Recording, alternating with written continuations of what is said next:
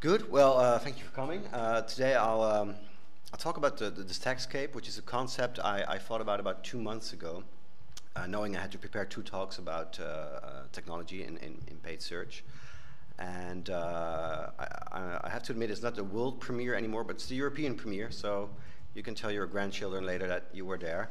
Um, it's because I did it three weeks ago in the US at the SMX West in San Jose. That was the first time I talked about this concept, and now I have the pleasure to do it again here in, in Bologna. Uh, and I'll just walk you through it. So uh, I, I, won't deep dive into very specific tools. It's more like an overview, a new overview that's hopefully very helpful. A lot of research has gone into it. Uh, uh, the, the, idea behind it is, you know, if I need a tool for X, you know, what are my options? If I have a budget, uh, what are my options?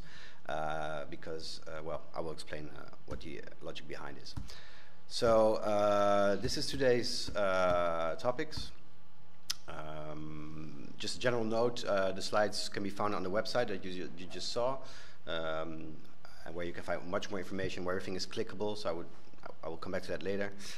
Um, so yeah, I, I, would highly recommend to afterwards really take the time to go through everything um, because it's a lot of, you know, a lot of links, a lot of tools you can check out.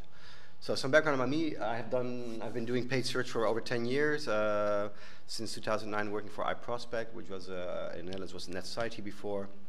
Um, I've been writing articles about audits uh, especially. Um, maybe you've read them, maybe you, otherwise you can uh, link over there. Um, so, uh, and I'm currently building a software myself. So I have a, a new, I always was very interested in software, but now I just have a obligation to check out my potential competitors and uh, partners. Um, so this, this is where I got the idea first. I'm not sure if you're familiar with the, the Martech landscape. The thing on the left, I will zoom in a bit later, or the, or the Lumascapes. These are so-called landscapes of technology where, where uh, companies, or, or a blogger in this case on the left, are trying to put all available technology with logos for a specific uh, category in there. So these are cool, and these are overwhelming, and they're kind of meant to be. And if you look at the left one, you see the, the number of uh, marketing technology solutions, how they've increased over the last years. So you see, like the first time he did it, it was 150 uh, solutions, and the, and the new one is coming up for 2017 anytime now, somewhere coming weeks.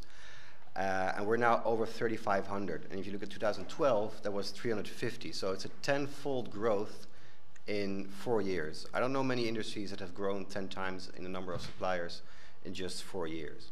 So it's, um, uh, as they say, then is software is, is eating marketing. There's a, um, there's a very famous article wrote, written by uh, Marc Andreessen, founder of Netscape. I don't know if you're old enough to remember what Netscape is, but um, he wrote Why Software is Eating the World. I would recommend to read that, and then we can actually see that and if I don't know if you were uh, this morning session, but you more and more when you go to conference, you hear about you know how software is changing our lives, machine learning, et cetera, et cetera. But as a general, that, that's more like a big picture thing. When we zoom in and try to find specific tools, and I know I don't think you can even read this one, but you could zoom in even deeper. Um, let's say you're really actually looking for a certain tool or certain software. This doesn't directly help you because it's it's quite broad categories uh, I just give an example here. AdGooroo and WordStream are in the same category. I don't know if you know these tools, but they do very different things. I mean, they're both paid search tools, but they don't perform the same task. So I was thinking, you know, this is not really helpful. It's a starting point, but it's not. Uh, it's more like to overwhelm people. Then that was the one end of the spectrum, like the big, uh, big picture thing. On the other hand, there's this concept of the tech stack. So that's I don't know if you're familiar with that, but that's your personal or your company's uh, collection or combination of technology. And there's the same guy who makes these big, these big landscapes, also organizes yearly Stackies Awards. And then uh, he invites companies to make one slide that very nicely visualizes all the technology they use and, and how they use it. So, um, you know, again, there's links there, so you get the high resolution version if you want to. But here's just a few examples of how they very uh, nicely and, and well thought out, organized. You can see how these companies think about their technology, how everything fits together, which purpose they serve. So I was thinking, on the one hand, you have these enormous landscapes with thousands of tools, and on the, one, on the other hand, you have like this. This is the end goal, actually, right? You, you, this is what you want as a company. You want your technology to be right in place, no